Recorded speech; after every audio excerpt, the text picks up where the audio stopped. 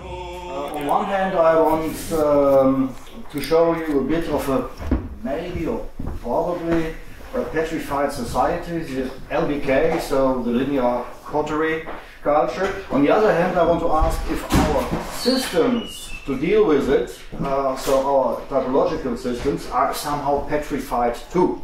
If we try to describe something petrified with a petrified system. Right. Okay. Um, was soll ich zu drücken? Pfeile. Hm. Nee, gar nicht. Direkt. Uh, oh, sorry. It's alright. Ah, okay. Okay, so uh, we forget this and change directly to LBK. So, um, just in short, for the non-Neolithic researchers here, um, LBK uh, is uh, based on uh, former Neolithic style, probably Chorus Chris, uh, in Trans-Danubia today.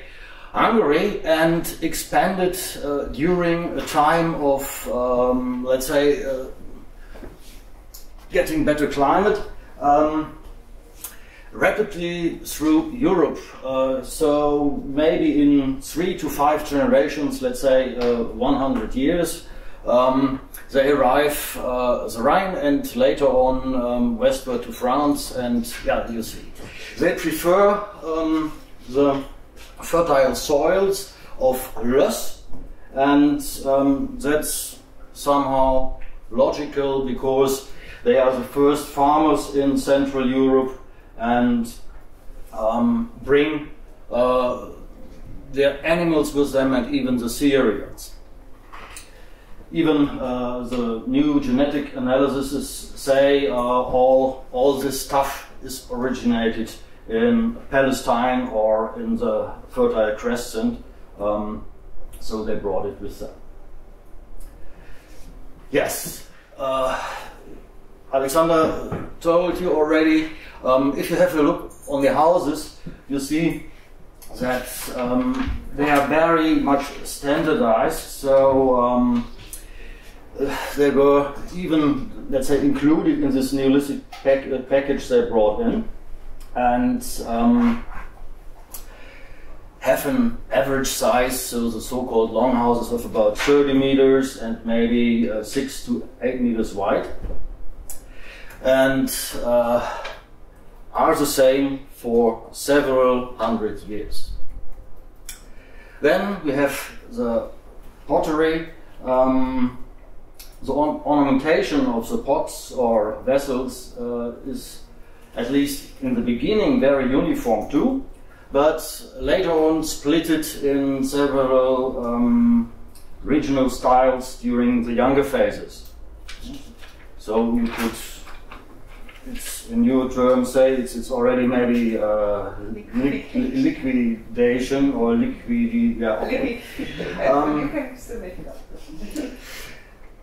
But, however, so his very important site of Herxheim shows us, for example, that even the uh, differentiated uh, styles of the younger LBK are still in contact. So we find here where out of several um, regions outside of Herxheim. All in all, the end is near. Um, so-called crisis of the LBK. In the end, we are still discussing. Um, once again, Herxheim is um, a probable ritual place with several hundreds of probable sacrificed people. And second, we have um, some kinds of warfare, some mass graves and massacre places like Talheim and Kilianstädten in Germany or Asparn-Schletz in Austria.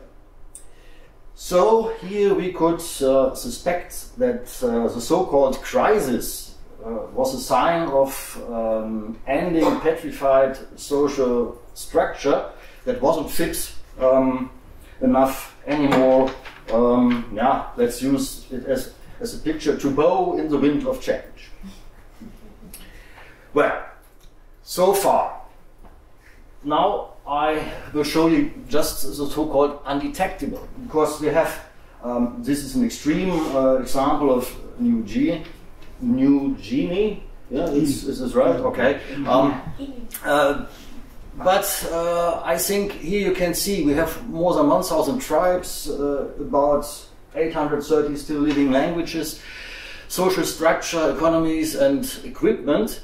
Um, by the way, are independent of these languages.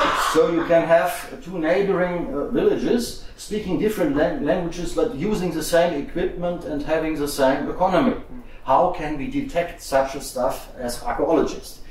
Or a second one, even um, the same uh, area, um, such stuff. So very, very important for identity, the coloring of the face and so on. And uh, it means I belong to this group. Um, we can't detect it as an archaeologist because we can't dig out uh, this face paintings, for example.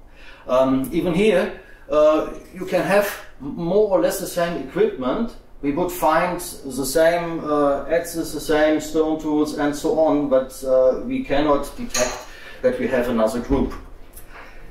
The opposite side, or the other way around, here we have written sources about the Iroquois in Northern America. Here, um, still five nations, later on so called six nations, and uh, we know they belong together as a Liga. But if you have a closer look, uh, most of them used uh, burial mounds, so um, putting their, their people in a sitting position into a wooden chamber and covering it with earth. But the Seneca, so one part of this Iroquois League, um, they used another way, so they put their uh, dead people on platforms in trees, something we can detect. As an archaeologist without the written sources, we would think maybe the Seneca didn't belong to this Iroquois League because they were different in a, for us, important point. Well, apples and pears, that's a, a German saying, so to compare something what is at least uncomparable. Um, typology, maybe a petrified system too, because we change um, with the arrival of pottery um, our system. Here we use the stone tools, for example, to um, uh, set up the uh, term Congo as a culture, but when LBK arrives, yeah, stone tools are not unimportant, but lose in this way their importance for typology because we have something new that is more interesting for us. So vessels, this decoration, we can um, now use them, um, the shapes and uh, decorations to create a new typological point of view, like here.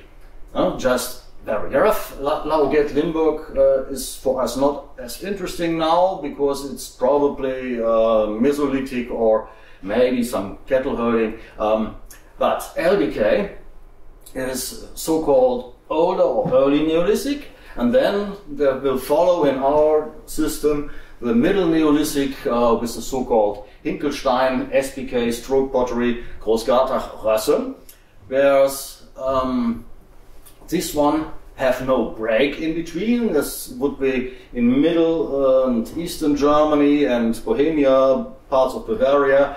Um, the stroke pottery follows on the LBK and you don't have break in between. So um, it's continuous. Whereas in Western Germany, um, you have first in Rhine-Hesse uh, the Hinkel, Hinkelstein style, uh, followed, um, let's say, the kind of development by Großgartach and later on Rössen. This would be uh, the system for pottery, uh, very simplified. Well, now we tend to put this uh, in blocks. Uh, so boxes, same we had before already, and um, but keep in time, uh, keep, keep, in mind that that uh, in yeah, but uh, keep in mind that um, the Bandkeramik LBK um, is partly existing beside this Rössen, Großgartach, and uh, Hinkelstein. Well, to come back here, why do we think now these pots belong to LBK styles, so belonging still to Bandkeramik? Yeah, uh, it's just our definition. We don't know what people thought themselves about it. And why do we say the Hinkelstein people don't belong to the Band ceramic? They are something new, they are Middle Neolithic. Um, it's just terminology. Okay. Here we show another kind of artifacts, so, shoe last edges, um, and here we would find other borders. Uh, if we use them, um, we would probably choose a border here because there up you see is a shoe last uh, heads with a um, drilled hole, shaft hole, and that's important because first these tools were used in a horizontal way and um, then it changed to how you say per particular Oh, um, as this direction. Okay. Yeah, okay. Well, second one would maybe here where shoe last edges in the high version um, disappeared, they were not used afterwards. Or a third one we could set here where the so-called Rössen edges uh, appeared. Uh, nobody knows for what they were used, but uh, probably something with wood again. Um, but it differs from our uh, ceramic um, typology. Very important, and now I have to hurry up. Uh, the houses. Yeah, we have on one hand uh, later on Rössen house where um, we have maybe several families, and the former LBK house with, so is said, uh, one family, so-called core family. I don't believe in this, but uh, anyway. Where do we have the border between these two social important systems? So we have some um, houses in between, uh, so they differ in shape. We see a development uh, from um, rectangular over a bit ship-like, and later on uh, the classic trapezoid uh, Rössenhaus sometimes combined in settlements. So on the left, um, we have uh, uh, settlement of Großgartach and Tressen, and uh, on the right, we have one of uh, LBK and SBK. So very often they use the same house shapes, um, but with different pottery styles. So simplified, here we have um, so the one with the red crosses inside means that they have uh, still a lot of um, post hole rows inside. Later on, um, they become less, so that's the differentiation here.